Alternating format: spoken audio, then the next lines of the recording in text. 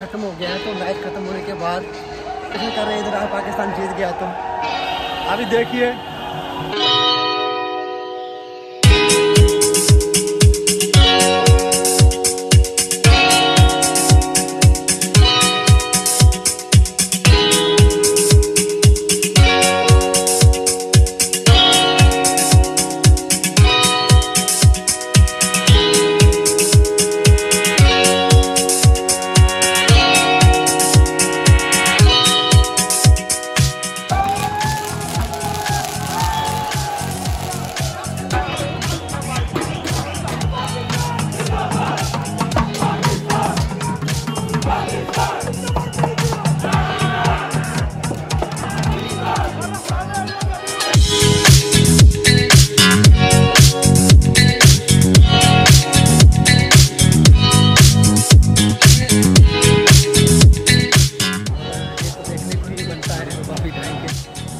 Final में मिलेगा India और पाकिस्तान।